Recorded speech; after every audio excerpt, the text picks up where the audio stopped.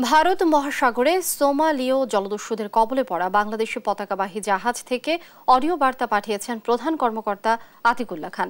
মালিকপক্ষের কাছে পাঠানো অডিও বার্তায় দস্যুরা কীভাবে জাহাজে নিয়ন্ত্রণ নিয়েছে এবং জাহাজের সর্বশেষ অবস্থার বর্ণনা দিয়েছেন তিনি। জাহাজের কাউকে জলদস্যুরা কোনো ক্ষতি করেনি জানিয়ে অডিও বার্তায় জিম্মি সবার জন্য দোয়া প্রার্থনা করেন আতিকুল্লাহ। ইশতিয়াক পাঠানো রিপোর্ট জানাচ্ছেন সাইদুল্লাহ।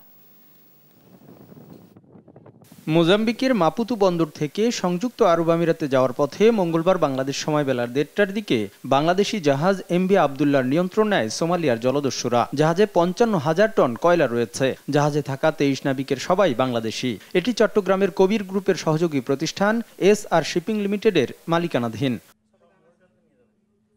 জাহাজের প্রধান কর্মকর্তা আতিকুল্লাহ খান জলদস্যুদের কবলে পড়ার বিস্তারিত জানিয়ে মালিক পক্ষের কাছে অডিও বার্তা পাঠিয়েছেন। যুক্তরাজ্যের মেরিটাইম ট্রেড অপারেশনে সাহায্যের জন্য যোগাযোগের চেষ্টা করলেও তারা ফোন রিসিভ করেননি বলে জানান ক্যাপ্টেন।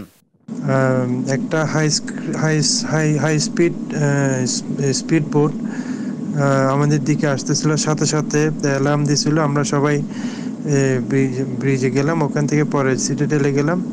তো ক্যাপ্টেন স্যার আর সেকেন্ড অফিসার ব্রিজে ছিল। তখন ওই তারা আমরা জিগজ্যাগ কোর্স করলাম, তারপরে এস এস এস ইয়ে করলাম। ইউকেএমটিউতেও ট্রাই করছিলাম বাট ইউকেএমটিউ ওই তখন ফোন রিসিভ করেনি। এরপরে ওই ওরা চলে আসলো পাইরেটসগুলো তো আসার পরে ক্যাপ্টেন স্যার এবং সেকেন্ড মেটকে ওই ক্যাপচার করল ক্যাপচার করে আমাদেরকে ডাকলো। তো আমরা সবাই আসলাম এসে তো আমাদেরকে ওরা খুব ওই কিছু গোলাগুলি করল। তারপর আমরা একটু ভয় পাইছিলাম সবাই ব্রিজে বসছিল। অডিও বার্তায় প্রধান কর্মকর্তা আরও জানান জলদস্যুরা জাহাজ জিম্মি করলেও নাবিকদের কোনো ক্ষতি করেনি। তো আসার পরে এখন কতক্ষণ পরে একটা বড় ফিশিং বোট আসলো মাদার ভেস ওদের মাদার ইয়ে তো ওটাতে আবার ওই ওটা হচ্ছে একটা ইরানিয়ান শিপ ইরানিয়ান এই ফিশিং বোট যেটা নাকি ওরা এক মাস আগে ক্যাপচার করছিল। ওই ইরানিয়ান ফিশিং বোটটাকে এই সোমালি পাইরেটসগুলা ওরা ওইটাতে ছিল, ওইটাতে ঘুরে থেকে ওরা এক মাস ধরে সার্ফিং করতেছিল, কোনো জাহাজ খুঁজতেছিল। তো আনফর্চুনেটলি আমাদের জাহাজে ওরা আসলো। ওই এখন ওই ওই ইরানিয়ান ফিশিং বোটকে ওরা রিলিজ করে দিবে। আতিকুল্লাহ খান তাদের জন্য সবার কাছে দোয়া চেয়ে পরিবারকে সান্ত্বনা দিতে মালিক পক্ষের প্রতি অনুরোধও জানান।